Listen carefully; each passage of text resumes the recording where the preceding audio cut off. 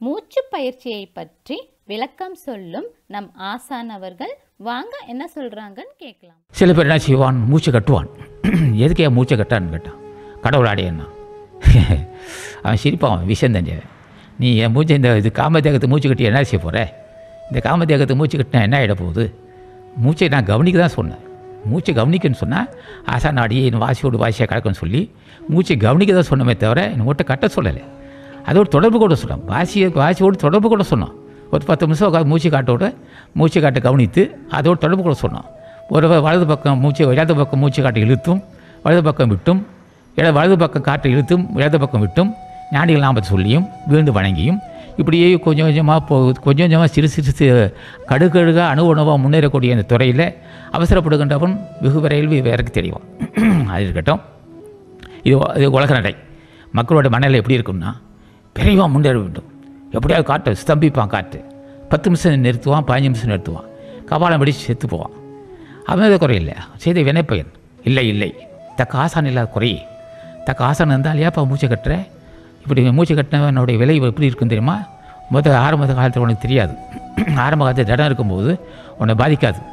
கொஞ்சம் சிறிது மூச்சை மிதிக்க மூச்சை கட்ட கட்ட கட்ட அதிகமாக மூச்சு மூச்சு காட்ட ஸ்தம்பிக்க ஸ்தம்பிக்க முத வருவது மலச்சிக்கல்.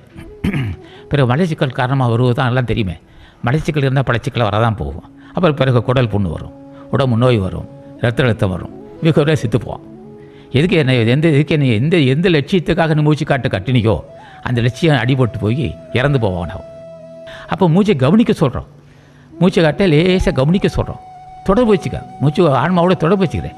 அது ஆன்மாவோட தொடர்பு வைக்க சொன்னமே தவிர கட்ட சொல்லலை ஒன்று அப்போ அப்படி அந்த மூச்சு காட்ட அதிகமாக கட்டுக்கின்றவன் நிலைமை கதி அவனுடைய கதி இப்படி தான் முடியாது. தேவையில்லாமல் இறந்து போவான். ஆக இந்த மூச்சை இது தொடர்பு கொண்டவன் என்ன செய்வான்? மூச்சு காட்டோட தொடர்பு கொண்டவன் தப்பித்துக் கொள்வான்.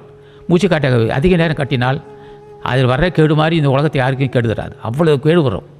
சில ஆனால் உலகத்தில் சில பேர் செஞ்சிட்டு இருக்கிறாங்க அது யாரோ செய்யட்டும் அதை பற்றி அவருக்கு வினைப்பயன் தக்க ஆசை இல்லாத குறையோ அது செய்த வினைப்பயனோ. அது அது நமக்கு தெரியாது. தக்க ஆசை இல்லாத குறை தான் அது. யார் ஒருவன் அதிக நேரம் மூச்சு கட்டானோ ஆசான் ஆசான் உபதேசம் இல்லாத குறையே. அது அவன் செய்த பாவமே. அப்போ மூச்சு கட்ட தொடர்பு கொள்கிறோம் நல்லா அறுசுவை சாப்பிட்டுக்கிறோம். அறுசுவை என்பது அசைவ சைவ உணவு. சுவையான உணவு.